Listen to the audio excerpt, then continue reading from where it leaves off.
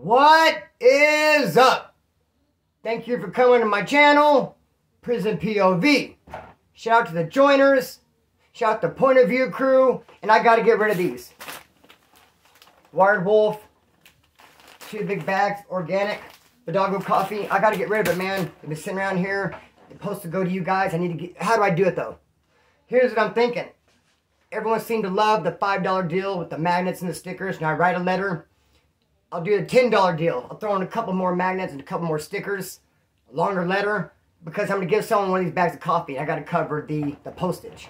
So, between now and Friday, whoever sends cash at me some money for the stickers and the magnets, I'm going to pick someone to send one of these bags of coffee to by Friday morning. Probably only one person, maybe two. You're not going to have a lot of competition. I'm talking to you, the one person thinking about doing the deal. It's going to be you. You might end up with all three bags of coffee. You're going to be a coffee drinker full. Maybe four or five people will go ahead and take me up on the offer for the magnets, stickers, and litter. I got three bags of coffee. If there's five people, your chances are great. And if there's five and three people get coffee, I'll kind of feel bad for them too. I'll make sure I throw something special in there. So yeah, $10, magnets and stickers by Friday morning. Kind of throwing those names in a pot. You guys going to get something bonus special too. I need to get these coffees to you. Because I, I got a ton of these. I drink these all day long, bro. And plus, you know, I'm stuck on rock stars. That's where we're at. Shout out to Green Eye Gemini for the hat. And shout out to my cousin's ignorance that I still have the matching shirt. I literally will give someone their shirt off my back. When I went by his pad after Hoodstocks, kind of long story, stayed the night, even though I, I knew he's not doing too well. That's why I want to give him the shirt. He's not doing well. And he doesn't have, I didn't have very many my clothes with me. And I want to bless him. I gave him some, little care package, a hat, some socks, a shirt. I was like, here, bro. And he looked at this shirt and he's like, what? Like he was disrespected. That's a Kmart. My brother, eh, eh. that's a Kmart shirt. Which is funny because, yeah, when I was a youngster, back in the day, junior high, whatever, Champion was like a Kmart brand. I don't know how they went from shit to sugar. Good for them. They made the comeback because now this brand is popping. I tried to bless it with them. He's like, Kmart shirt. So I took it back then. You know what? I didn't give him nothing for that attitude. I'll take it all back then. Big as a man. I got the shirt. Shout out to Green Eye Gemini for the hat. Bro, I should give the coffee, the hat, and the shirt to Randy Torres. I'm talking to you, Randy Torres, because he reached out to me on Instagram in direct message. He said in my last video I looked tense, which I'm not tense. I mean, I'm... Mm -mm. Can't see but I'm doing a lot of footwork. I'm loose, bro. All day long. So I don't know what you're talking about, Randy Torres, but he said I look tense, and he offered to give me a back rub and a neck rub. Randy Torres, he said he wanted to get the kinks out. He's, he's like, I'm a professional. I, I'm not, I just really want to hook you up with a good back rub. Hey, I appreciate the offer. I'm good, though. I'm super straight. Whatever back rubbing I need, any kind of like knots get worked out, Green Eye Gemini has got me all day long. Thank you, though, Randy Torres. No gift for you today, though. Hey, this is the video I was talking about yesterday when I said there's going to be another video. I didn't know how to explain it in the title. This video is about how a cop came into our pod dressed as an inmate to do an investigation. But first I want to say this. You know what my desire is? My desire is that when you guys watch a prison POV video, like, watch the whole thing. Or most of it. I don't like the idea of people just watching half of it. And I thought about it is it my fault because I add too many stories? Like, I think this video ha has like five stories in it. Should I come on and just make like a 13 minute video with just one story? Because you're not likely to cut out in the middle of a story. I like to think my storytelling abilities and they're a little bit more interesting than that. So if I, should I come on just tell one story, 10, 13 minute video? To, am I giving too much is the question. Should I be giving five stories in 22, 23 minutes? I don't know, because people, like my last video had an average view duration of nine minutes and it's 21 minutes long. Now, I doubt very many people are cutting out after 9 minutes. I think some people just log right, you know, pull the video up and then immediately pull out. It messes with the numbers. I do watch numbers. If you're a YouTuber, of course you gotta look at analytics. And I just don't like it when the view duration's way low. And I feel like you guys are speaking to me. Uh, it's your channel too, so I'm hearing your thoughts on it. And to me, that's saying something loud and clear. We don't want to watch all of it. So, I don't know. I'm going to keep it up for now. Five videos, 21 minutes. I just, I hope, I mean, get at me in the comments. What's up? One one story, 13 minutes. That's how we should do it. Anyway, be that as it may, bro. This is what's up. So, and the thumbnail, shout out to Dave. Do you guys see the thumbnail? What that is in the background, it's the Kern River oil lease. All those pumping units, oil dales like that, hence the name Oildale. We have them all over. Taft is full of oil leases, pumping units out there Lerdo, the Kern County Jail. way out in the middle of nowhere. They got like a dairy farm. Of course, they got some orchards, but they got tons of pumping units and oil leases, tons of them. That's why back in the day, one of my good homeboys escaped, escaped from the farm. Not very easy to do. Not very easy to do at all. But guess what? He had superhuman strength because his old lady was cheating on him. And bro, that'll blah, blah, blah, nothing is worse, dude. Bro, I caught a stabbing, went into jail. The homicide detectives visited my mom, asking her questions. I called her, and I didn't know anything about what happened to the guy. And she told me that. And bro, I guess you can imagine, I was like, what? I was like tripping out, like, no way. But that didn't bother me as much as when I get on the horn and find out that the old lady's out messing around. That's way worse, dude. That'll really get under your skin. And it's just like a slap in the face. Like, you're going to do what? With who? What? So he's in jail on the farm. Find out his old lady's being unfaithful. He develops a plan and he splits, bro. He makes it happen. And he takes off running. And he said he kicked off his shoes by accident. Those old funky kind of gel shoes, bro. Like one size fits all. Those came off. But all the oil that he ran in. He said the oil got on his socks and developed like a sole of a shoe. He said he was able to run all the way through the fields. Hey, I'm talking to the Bakersfield, Kern County homeboys. Check out what dude did. He ran from Lerdo to Oildale. Facts. Got all the way there, tripping on his way the whole time. Got to the spot. The dude was in the pad. Can you imagine how good that felt? First off, you hear the bad news.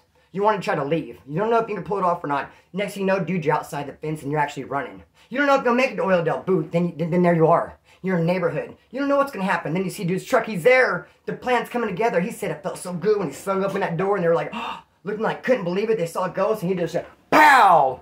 Got him, broski. Knocked him down. Knocked him out. And dude, he said it was worth every bit of trouble he got into. He did get in a gang of trouble, but he said, dog, uh-uh, that trouble is Nathan. It felt so great. And I can imagine. So homeboy, yeah, he did that. And so let's get on with this. So, the story though, man. The story.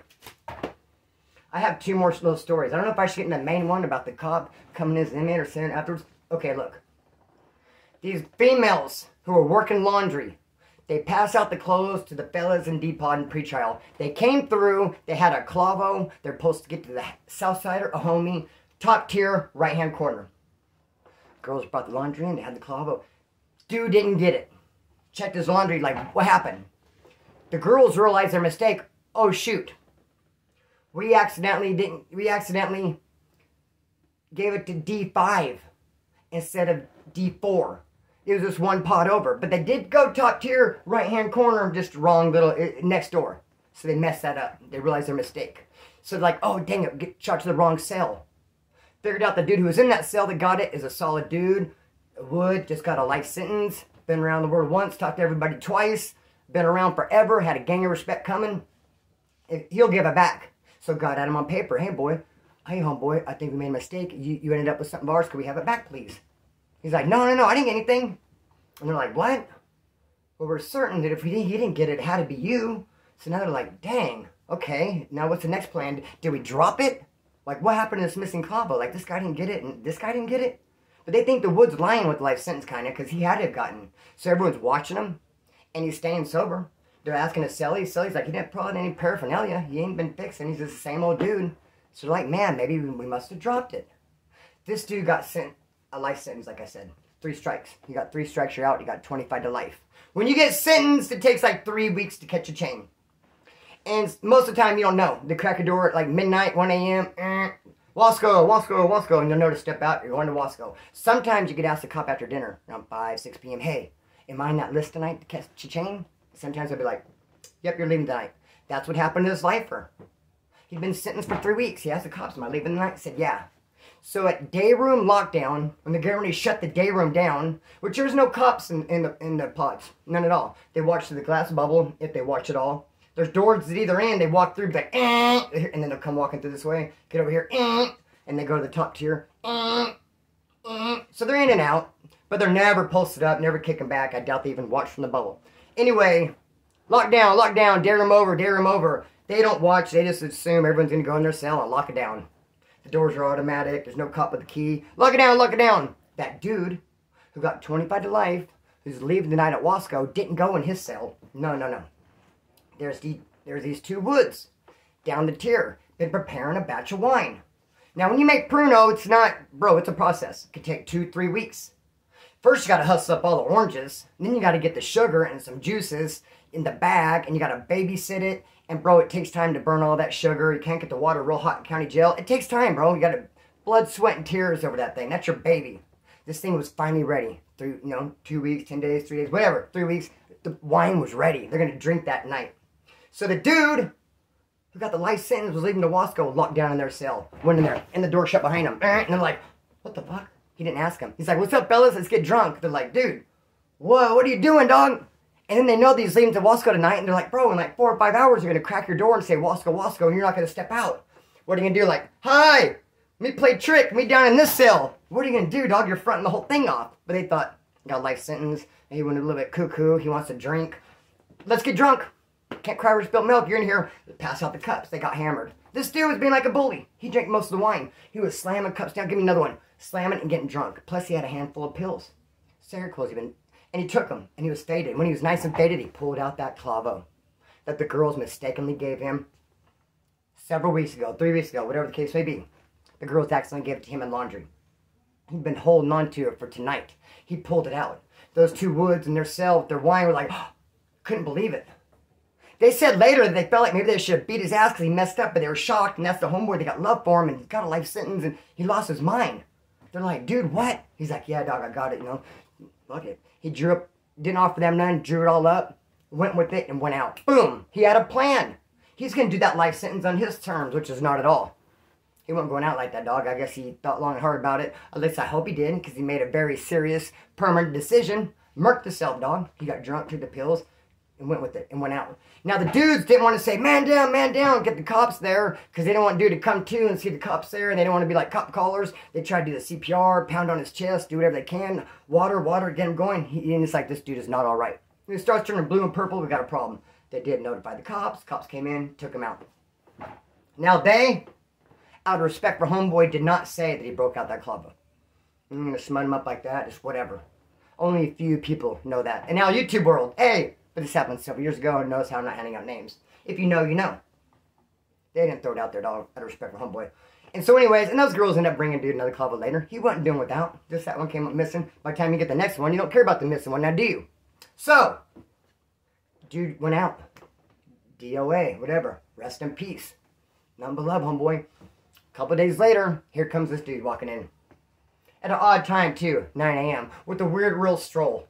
People come in at night, bro. From the farm or just from the, the buses. He came in at 9 a.m. Kind of just weird. And he just went, and he went to an empty cell, which is pretty odd. And what's more odd about that, the cell wasn't empty. But they moved this dude, they moved this dude, we have an empty cell, here comes this dude. Bam, empty cell. He's trying to avoid everybody. Immediately he starts working out, doing squats kind of tripping everybody, towel over his head like this and towel over like this, two t-shirts. He's just kind of being real sneaky and quiet in the corner, just looking real odd. No one's going to let you be a recluse up in there unless they push up on him. Do what's your name? What are you doing? Where's your paperwork? Why are you here? Let's get to know each other. What's going on? He's like, I'm here for armed robbery. I'm a pizza delivery guy. Guy brought me a pizza, delivered to me. I robbed him. Like, oh, okay. Had the paperwork and everything. But a case like that, especially back in the day in Bakersfield when it happened, would have caught media attention. It just would have and it wasn't on the news, didn't hear nothing about it. That's what he said he was there for. So that was the first day. He was just kind of himself, and everyone's like murmuring and talking about him. What's up with this dude? Then the next day, his true colors came out, and everyone knew it was up this dude. He started asking big questions about the guy in the cell. That was that's R.I.P. The homie that went out. He said, "What's up with that dude?" He goes, "When I came here, when the cops escorted him, they said a guy died in here. Is that true? What happened? How did a guy die in here?" They're like, "Look, no one's up and discussed it, but since your persistence, we'll tell you real quick that he overdosed. He took some pills and he drank, had a life sentence, he was overdosed. Oh, really? That's what happened? And he was asking everybody. And that kind of stuff's not allowed. That's considered nosy, and that'll get you beat up really. But he was doing it in such a manner that really he was like scaring people. Because it just seemed like he was a straight up cop. How he was acting. Everyone put two and two together. The racer were talking like, dude, we think there's a straight up investigator. And it's not like paranoia, like, oh, it's a cop. Because remember, you guys, before I had a guy who came to my cell, I thought was a cop and stuff. And, eh, you know, but when everyone thinks it, bro, and it's, it's plain as Jane. And dude, the 60 days in, like I'm talking about, it's coming Thursday night. 60 days in, a show on A&E. What they used to do is take like Joe Blow, regular people, and put them in a jail to gain intel. But it never really worked out. A bloop in the face because when they put, put those Joe Blows in there, the convicts are like, something's wrong with them. They're not convicts. This is a Joe Blow. They don't know anything about jail. It's like, we know something's up. That's how we felt when that dude came in. We know something's up. This is not just like a regular. This is not the type of dude that would do an armed robbery on a pizza delivery guy. He's just no dog. This and the way he kept saying, "What happened to that guy? What happened to that guy? What happened? What happened?" He's always using the phone. He would talk to this dude, get on the phone. So one day, homeboy pushed up on him because every time he's on the phone, you get close to him, he gets quiet.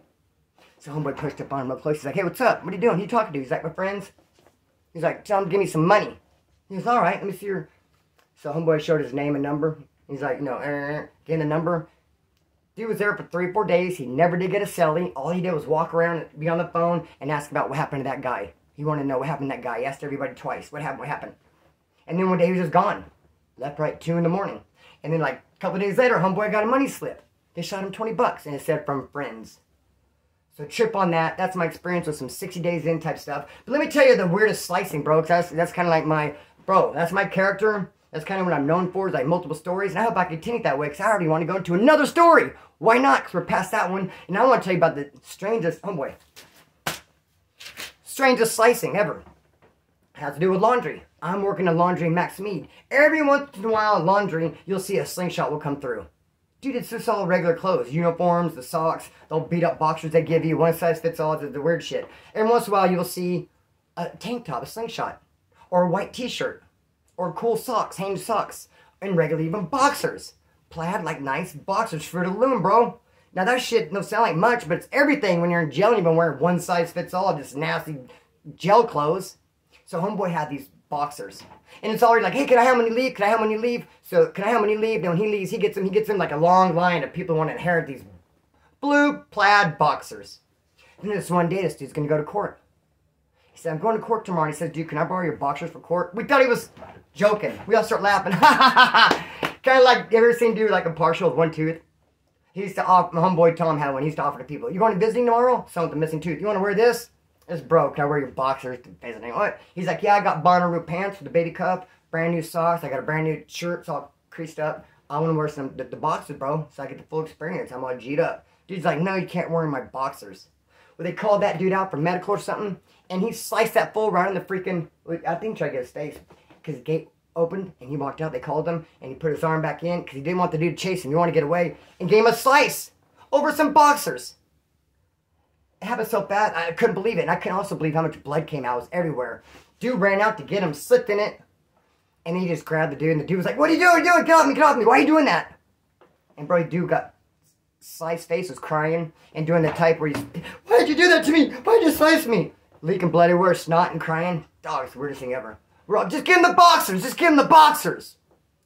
Bro, I never even think I'd see someone get sliced up over some boxers. But I do can imagine like the thing, because I kind of pulled like a move like that too. I told someone they could have something, and he got really pissed off over a shirt. Well, I guess it's not the same thing. It's like laundry. But trip, I'm at Set Free, uh, at Yucaipa. It's like a drug program, a church related. And I get there, and this dude had all these Set Free shirts. And I thought they were pretty cool because we're in Set Free, the church. It'd be like Set Free Tribe. And like, those are cool shirts and I had some money when I came. I think my dad might have mailed me 20. I offered to buy him off him.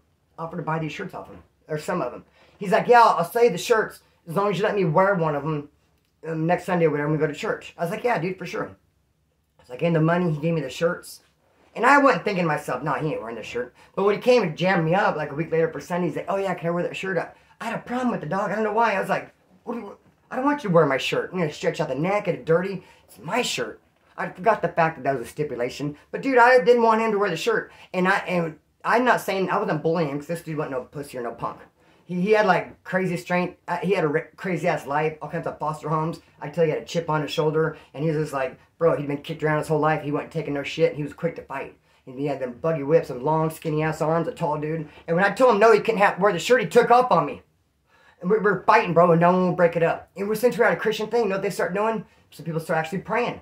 And then the dude came out who ran who ran the thing. He wouldn't even break it up. He just saw it and just like walked outside, wait till we tired ourselves out.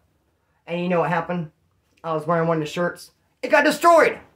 I didn't let him wear the shirt. I thought he'd wreck it. And I ended up getting a wrecked shirt anyway. And then we ended up becoming the best of friends. I love your dog. I love your dog. Haven't you thought someone become cool after that? Oh, kind of like earn respect or whatever. I don't know, man. But I do know that if you send me a couple bucks for the stickers and the magnets, you just might end up with some bomb coffee. So, let's do that, man. And what else? More videos. Friday Night Live coming up, of course, every Friday at 8 o'clock. Another video tomorrow is going to be bomb. Believe that. Shout out to the homeboy Dave for the thumbnails. We're going to be doing some editing. We're going to be doing some reactions. Got a lot of things planned. Nothing but some respect. Shout out to Dave. Shout out to the Vice President Derek. Shout out to Green Eye Gemini. Shout out to the Point of View crew. Cut the string and let it fly. Peace!